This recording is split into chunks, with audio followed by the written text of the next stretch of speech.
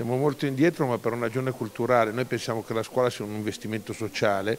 invece di capire che la scuola è il fattore di mobilità verticale da sempre, il più importante, è il fattore con cui uno crea una persona che è capace di lavorare di fronte a un mondo che cambia. Sono considerazioni amare quelle espresse da Giorgio Vittadini, presidente della Fondazione per la Sussidiarietà che alla Mezzia Terme presso l'Istituto Ipsar in Audi ha partecipato assieme a molti altri protagonisti al seminario di formazione didattica, character skill, scuola e lavoro, ripensare i processi di apprendimento e le collaborazioni scuola-territorio. Un tema decisivo e mai sufficientemente approfondito e Vittadini non lascia spazio ad interpretazioni mettendo al centro centro anche il rapporto tra formazione e mondo del lavoro. Le scuole professionali non possono accreditarsi, è una cosa assolutamente scandalosa. E secondo che non in tutte le regioni la formazione è qualità. Nel momento in cui in certe regioni come in Lombardia c'è la dote, qui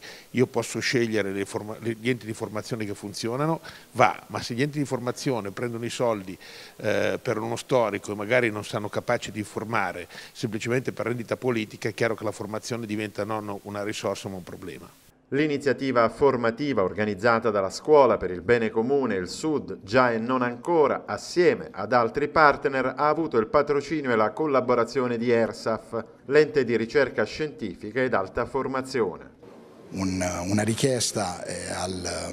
al professor Vittarini di creare un eh, progetto di ricerca scientifico mirato appunto al coordinamento e all'orientamento dei ragazzi eh, in età eh, scolare, quindi dalle scuole medie fino alle scuole superiori, in modo tale da combattere la povertà educativa e creare eh, un, un, sistema eh,